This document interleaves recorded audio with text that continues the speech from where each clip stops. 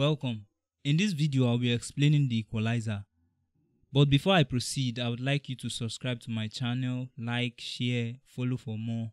Just turn on the notification bell to get more updates and more and more videos like this will keep coming. So when you do that, uh, thank you very much. My name is Ben and I am popularly known as Ben Lead and official Ben Lead to some people. Alright, so let's dive deep into what we have for today, which is the equalizer. If you've not watched my previous video, I would like you to do that. I released video on previous blocks, which is a video for compression, video for effects, video for amplifier. So go back to watch those ones so that you can follow along.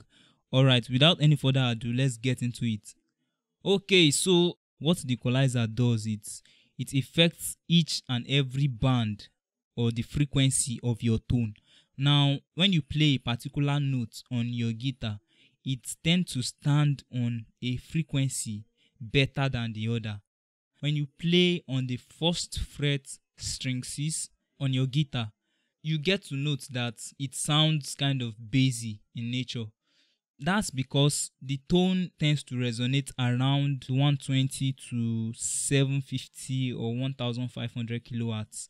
That's why you are getting that bassy sound the advanced sound system we have now projects everything, even the bass, the mid, and the highs. We can use this equalizer to affect the way your tone sounds. So let's take, for example, we are trying to set the bass area of our guitar to be boosted. So we can use the equalizer to do that. And if we take note, the lower frequencies or the higher frequencies of your tone, your guitar is not coming up as you want it to. You can use the uh, equalizer to effect that. So now, how do we use the equalizer? The 120 hertz and the 250 hertz is used to effect the bass area. The 750 hertz and the 1.6 kilohertz here is used to effect the mid range of your frequency, your tone, your guitar tone. So the 3.2k kilohertz and the 6.4k kilohertz is what you use to effect the treble or which is otherwise called the high frequency of your guitar. Alright, so how do you do that? You can use each of this knob now to adjust the first three of this equalizer. By tweaking this, you get to effect the first one here. Okay, okay, so I was wondering why it wasn't working. It's because my equalizer is turned off.